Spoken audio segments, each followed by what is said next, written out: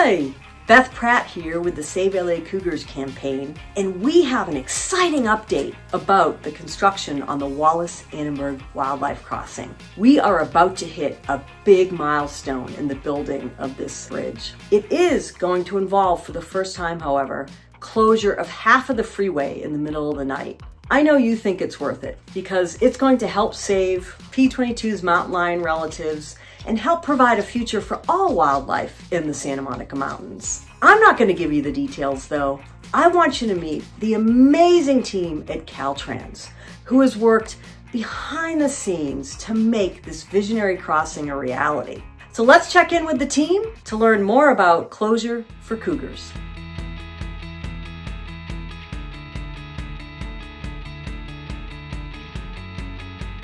Right now, we're just about halfway done with the construction project and we've completed all the uh, cast in place structures that would be supporting our next critical milestone, which would be erecting the girders across the freeway.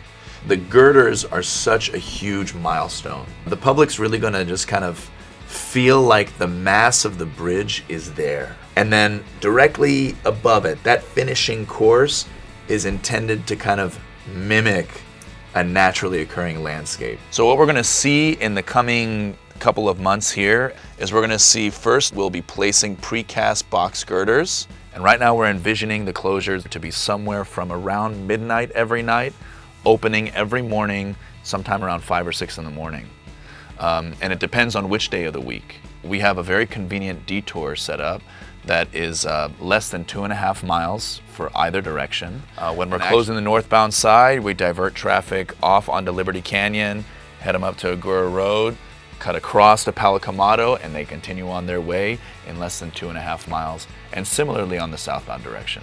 Fortunately, the public, by and large, is thrilled by this project and they've expressed a lot of interest in it because they love as we do, the idea of helping wildlife to thrive in Southern California. People love it, and they love to know things like we've already poured more than a thousand tons of concrete in what's been built so far because every girder weighs more than 140 tons. That's equivalent to about 14 African elephants.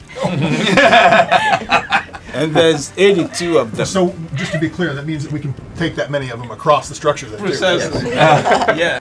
82 times 14 African elephants. They have to come in a certain direction so that they can lift them off correctly. Then they'll twist them into place and set them back down on these temporary supports.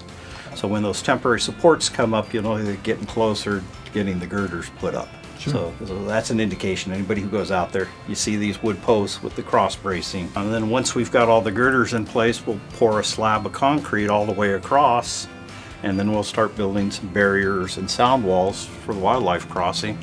And then they can come in and start placing the, the rocks and the soils and eventually the plant life. It gets me excited because what we see on paper is nothing compared to when you see it. And even driving through that, it looks really, really good. Yeah, when the girders start going up, yeah. people will start, that's be a huge visual people will notice. Coming down over that crest and how the that view opens up, even at night, when you see the shadow of the structure there, like it just gives me chills every single time.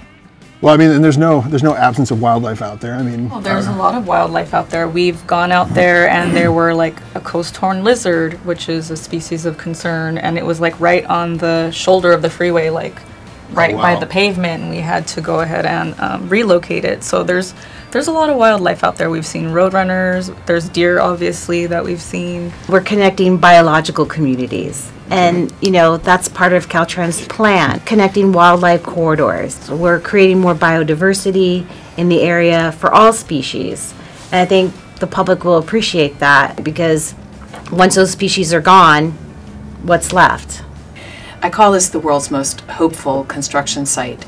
And I'm in front of school children a lot. This project has really fired the imagination of kids, and their imaginations will start from this point and soar somewhere that we can't even really conceive of at this point. And I think that's a magical legacy of the work of all these people.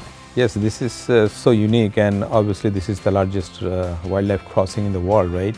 Uh, I have to say that You actually have a very, very good team that are actually working on this project. Everybody is knowledgeable about this project and dedicated about this project. And someday we'll say that we worked on this project. We're not just creating a, a structure or a landscape, we're creating homes for other species.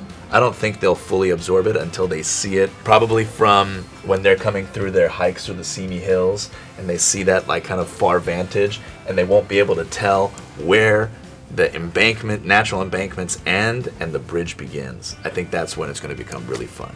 We're inviting everyone to contact Caltrans to be added to the mailing list.